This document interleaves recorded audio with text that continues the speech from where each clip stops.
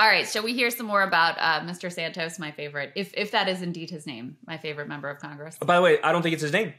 Yeah, that's what you were saying. Yeah, I actually covered missed the story. report, which I'm shocked So- because I've been I've I've been carefully following the George Santos saga. So tell update me on that piece. So Patriot Takes, which is like a Democratic Oppo research, uh, Yeah. group, and you know that they're not actually affiliated with the Democratic Party because they're decent at what they do. So Hmm. they have no connection whatsoever to the actual Democratic Party establishment. But um, they've been digging through all the whatever archives of George Santos stuff is out there, and uh, he gave a speech at some uh, Republican group event, and he, the guy who was introducing him, said, "George Santos, I knew you as like Anthony Devolder. I didn't know you as George Santos, but I guess George Santos." And he calls him up. So at the very least, uh, we it could be that George Santos is his real name and Devolder was the alias, or it could be the other, or it could be he's used seven, eight, nine names throughout his life. We don't know. I did see something about this a while back where it was like he used to go by Devolder, which was like his mother's maiden name or something like that. Yeah, and but- George is like the middle name or the first. Yeah. How do we so- know that's not made up either? You know, Yeah. what I'm saying? I mean, this is a guy who committed But- check fraud in Brazil. Like he lies about everything. Well, and whether or not that's the genesis of the George Santos name and it really has some bearing in like his actual legal name, the fact of a person who like is just totally Yeah, changed oh, their yeah. name around. This is my name. Yeah, that's for insane. this particular role, I've decided I'm going to be George Santos is indicative of some larger problems for him. Yeah. Well, um, anyway, we have the best lie or biggest lie yet Well- because it's actually tangibly related to Yes. politics and the law. So the biggest question for me with him has always been where did this money come from? Because he put $700,000 supposedly of his own money into his congressional campaign.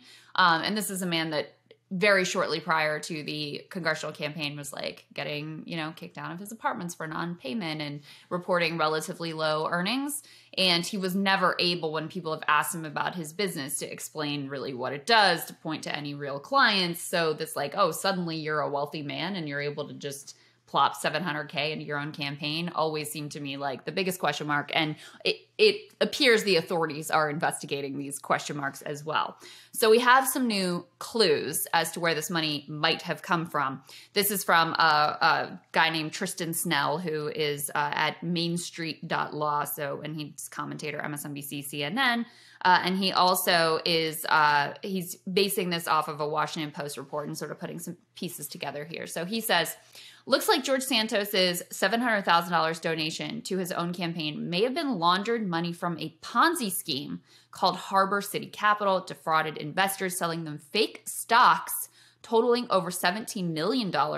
New reporting from the Washington Post reveals that Santos received payment from Harbor City as late as April 2021. On April 20th, 2021, the SEC filed a complaint against Harbor City accusing it of fraud on May 11th, 2021, so just one month later, Santos formed the Devolder organization. That's where he says he was getting the money from. When Santos then ran for Congress in 2022, he claimed the Devolder organization was his family's firm with over $80 million in assets under management. There is no proof of any kind that the Devolder org ever did any legitimate business. Santos claimed Devolder org paid him a $750,000 annual salary in 2021 and 2022. He then contributed $700,000 to his own campaign. He never mentioned Harbor City in any of his mandatory federal disclosure forms. The investigations into Santos will reveal the truth, but it very much appears that Santos took ill gotten gains from the defrauded investors of Harbor City, parked them in Devolder, and then used them for his campaign. He is not in a good position, let's just say. So basically, the allegation is he was somehow tied in with this. Um, just outright fraud that was being committed, this sort of Ponzi scheme where they're selling, selling fake stocks. That bonds, fake bonds. This guy says stocks. I thought he corrected himself and said, "No, no, no, it's not stocks. It's bonds. whatever. It doesn't Anyway, matter. Selling fake something. Fake something.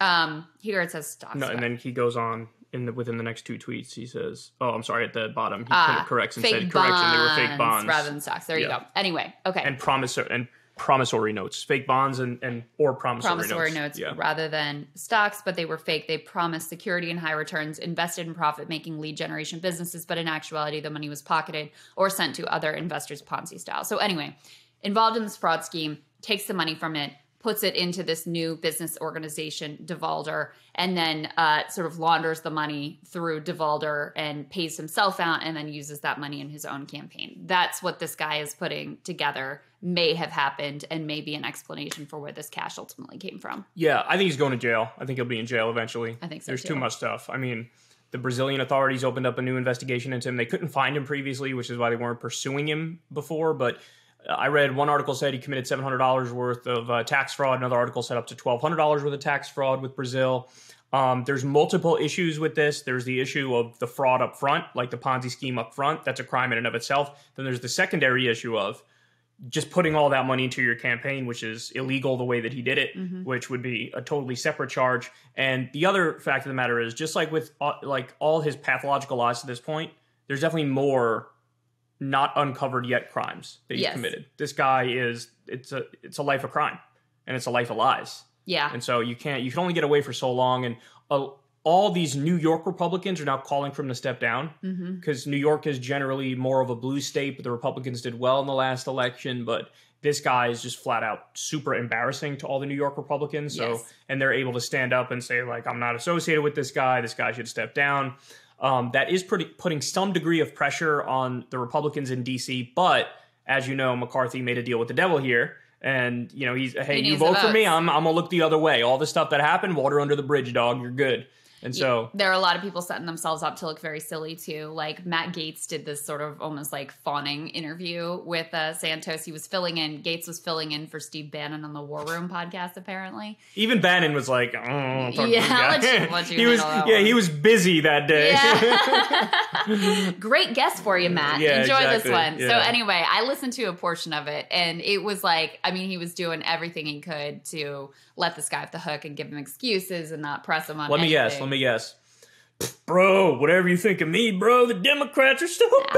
How, how did you know? How did you know? Like, no, he oh, asked him, good point, dog. he asked him like he does ask him the question of like, okay, well, where did the money come from? And Santos is tell you where it didn't like, come from. I saw that one. Yeah, didn't come from Ukraine. Didn't or come Burisma. from uh, Burisma or any of these other things. These Democrats are involved in, bro. You know what I'm saying? Yeah, and Democrats like, suck. Yeah, you know what I'm saying? Yeah, totally. Yeah, Gaetz is like, totally. Hey, good point, bro. so that's gonna work out well for everybody involved. Um, but yeah, I think on the the money piece the funny thing about campaign finance law is like there are so many loopholes you can drive a Mack truck through that things that are perfectly legal and absolutely should not be and that people get away with all the time because they know the specific way to work those loopholes.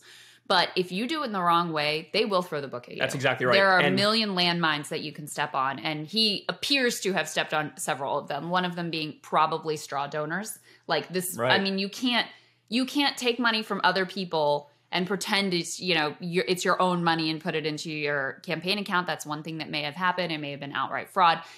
There's all kinds of areas where he probably big time fucked up here and you can get serious prison time if you uh, break the law these laws. And this gives the campaign finance system like the veneer of respectability too. Mm-hmm. it's sort of like how when you know when the when they went after bernie madoff or now they're going after um, SBF mm-hmm. of FTX. It's like, see, like the system's working. We're going after the bad apples. You know what I'm saying? And right. it's a similar deal here, where it's like, and that's why, like the wealthy and connected, usually they exploit these loopholes in a way that is legal, even though it's unethical and immoral. But you need the army of like experts and and attorneys to to, to tell you how to navigate all this stuff. And if you have some upstart who comes out of nowhere who does it, they don't follow the right procedures, and yes. then they can put their head on a platter and be like, "See, it's a good system, and we just took out the bad apples. So don't even complain about the system." That's very well said. Yeah. Very good point. All right, let's go ahead and get to my interview with Philion. We're going to talk about the Manosphere and also about his channel and what he's up to. Let's get to it. Hey, y'all, do me a favor and like and subscribe. It helps out big time in the algorithm. Click the bell as well for notifications when videos drop and watch that video on screen right now. You know you want to.